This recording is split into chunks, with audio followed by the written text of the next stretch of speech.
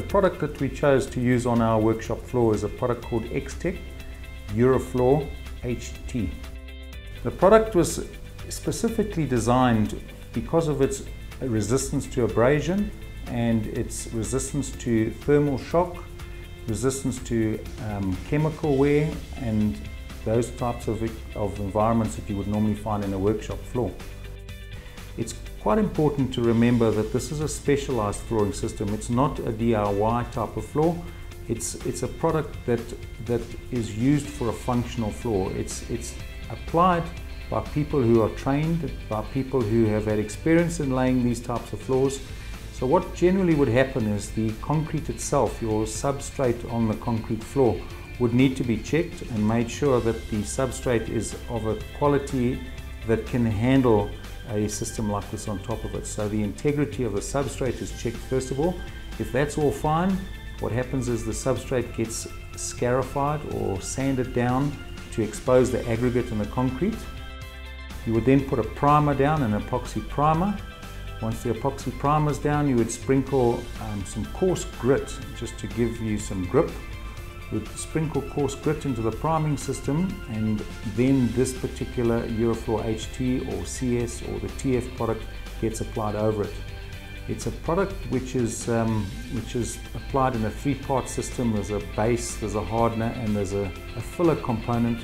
When the three of them are mixed together um, and mixed to a homogeneous finish, and then applied onto the floor. Once they're poured on the floor, obviously the self-leveling version of the product will start to level itself. It's helped with by means of a rake to spread the product a little bit. And then what might happen is you tend to find a lot of outgassing of air in the substrate, which causes little bubbles to come to the surface. So one of the applicators would be walking up and down with spiked shoes on, and he would be rolling the floor with a spiked roller to encourage all the air bubbles that might have built up during the, the mixing process to encourage those bubbles to surface to get out of the actual system so that they don't appear once the product is already started to set.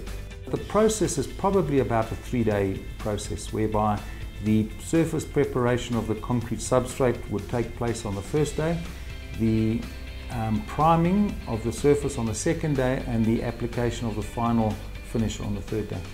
The system is a seamless system, it's absolutely seamless, which means that the product can be poured for as far as you need to pour it. However, um, any existing joints, whether they be structural or, or um, aesthetic, whatever joints you might have in the background in your concrete substrate, those were put there for a reason in the first place. So they need to be carried through the system. The only maintenance as far as, uh, as far as this particular system is concerned is any, any destructive damage that's taken place for whatever reason, those small areas need to be rebuilt up again and, and repaired as soon as possible. The compressive strength of a normal concrete floor hovers around 30 MPa. The compressive strength of this particular product is in the region of 65 MPa. So it's a very, very hard, tough and durable surface that you're applying.